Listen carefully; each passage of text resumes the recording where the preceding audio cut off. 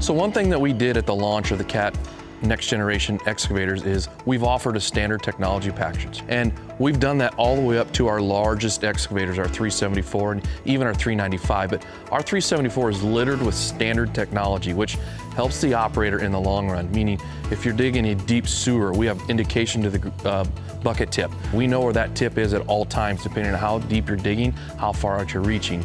We have lift assist, which is going to indicate to the operator if they've reached the capacities uh, of the lift chart of the machine. We have standard payload on this machine, which is going to help you prevent overloading and underloading of trucks.